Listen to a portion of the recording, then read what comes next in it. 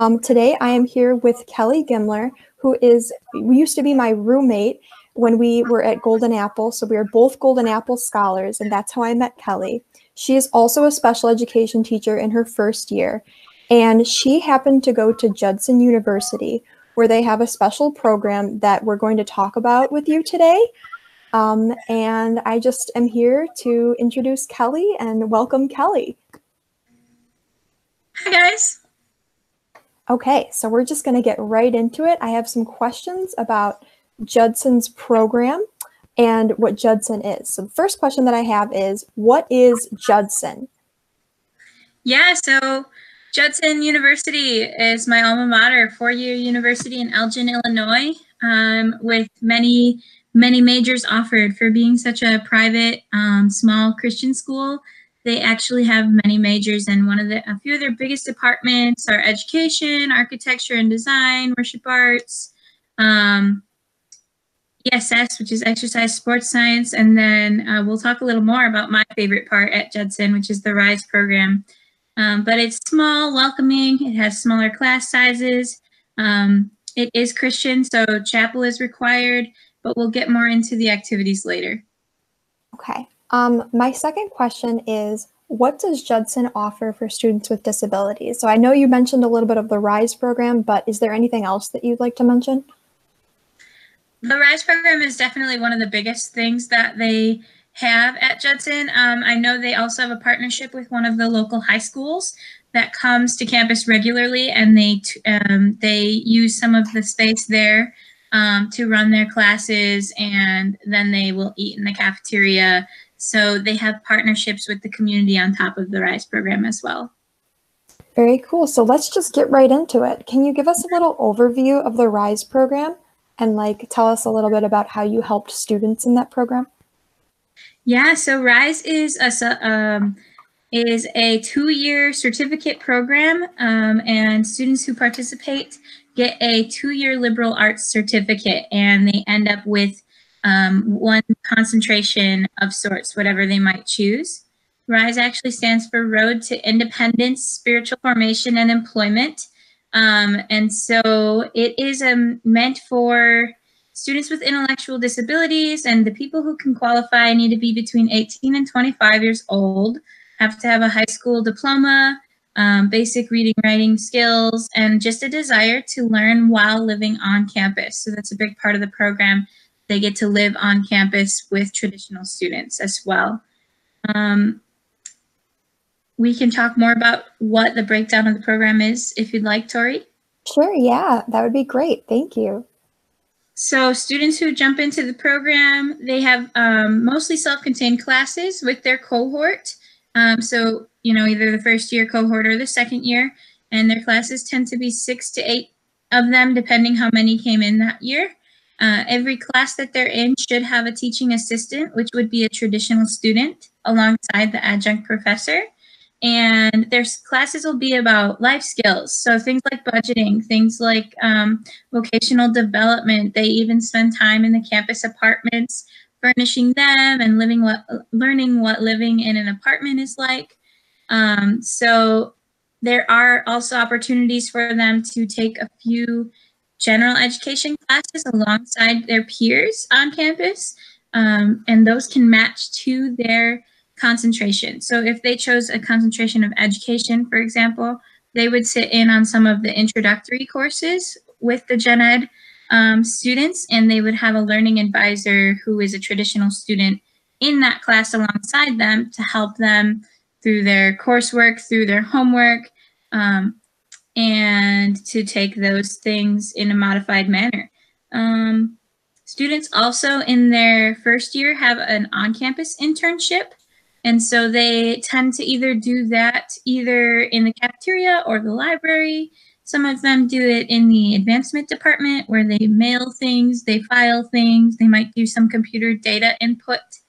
Um, and then in their second year, they get the opportunity to do an off-campus internship with um, also a traditional student alongside them as their um, study learning advisor in that internship. So again, if they have an education concentration, they might um, do an internship at a school.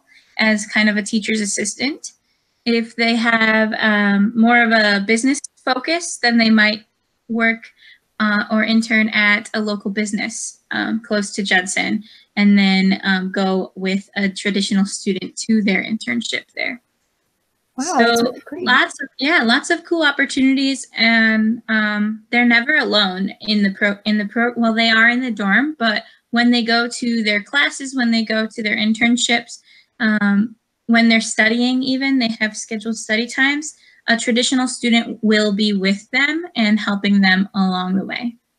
Okay. Mhm. Okay, wow, that was a really great overview. Thank you. You answered a lot of my questions.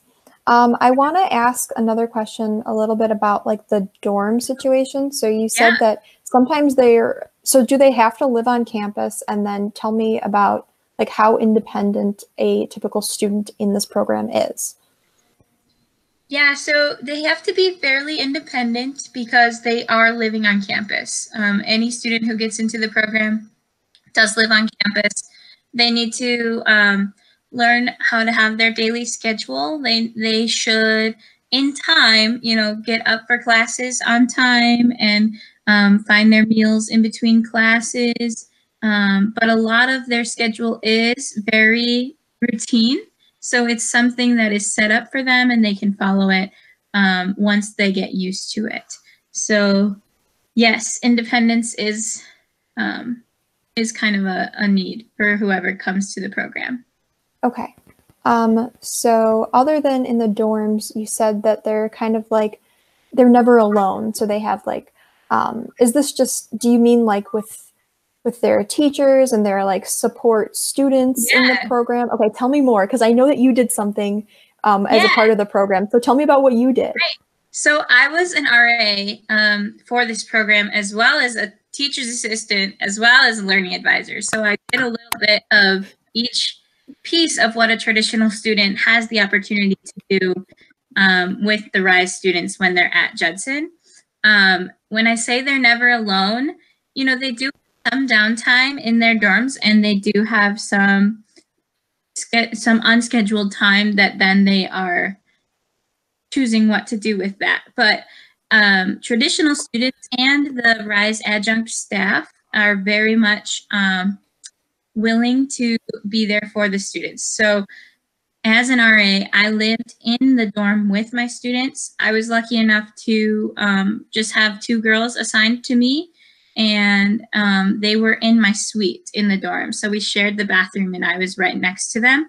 That might not be the case in every dorm, um, but the RA checks in with them nightly at least and makes sure they had a good day. You know, they'll talk through things, talk through how they're doing, how life is going, um, if there's any way they can help them.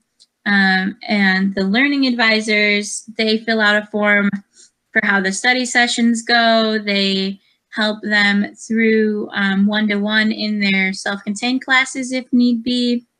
And the teaching assistants uh, would likely be traditional students. They do the same thing.